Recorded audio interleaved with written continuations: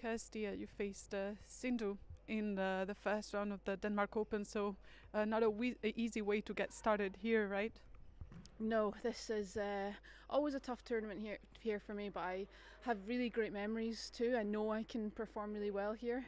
Um, I just keep getting seeded players uh, wherever I go, um, and in a way I like that because I want those games and I want the opportunities to beat these players. Um, but I would maybe like the opportunities in uh, second round quarterfinals, you know, something like that. But uh, hey, it is what it is, um, and I'm I'm so sure each week that I'm I'm gaining, I'm learning lessons, and I'm, I'm gaining small skills, and like I'm I am so close to these to these wins. So um, yeah, the more I play these top players, the more the quicker I learn. So I'm I'm choosing to look at it that way. In this sense, you mentioned on Instagram um, that uh, progress isn't linear, and uh, so from a match like this, where you uh, took the lead, even at some points in the second game, it was quite strong. Uh, what what kind of important things can you take from from yeah from such a performance?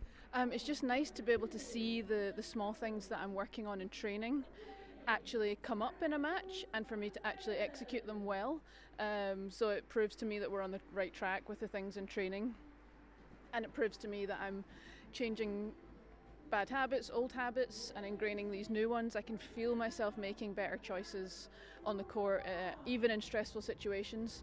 So it's coming, it's really getting there, um, and I'm just one one of these days it's it's going to happen. I've had you know wins over big players in the past, um, and I do think my actual consist my my level is more consistent now. There's not so many like highs and lows. I think I go on the court and produce a more a good consistent level now.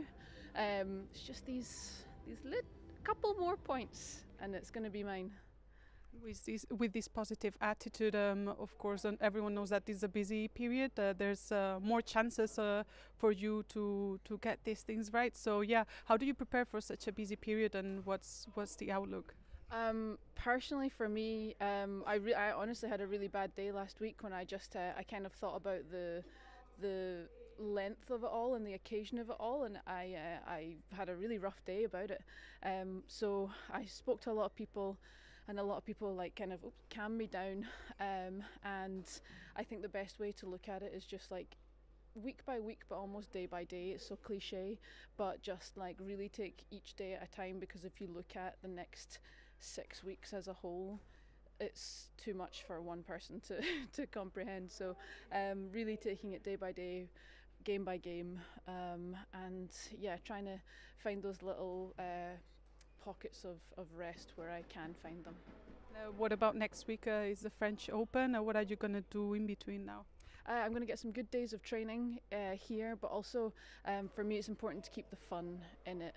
Um, so you know, a lot of my friends are here, so I'm sure I can get some some good training with them. Um, and then yeah, off to a new place to Rennes uh, in France. So that'll be nice to kind of switch up this um, October period.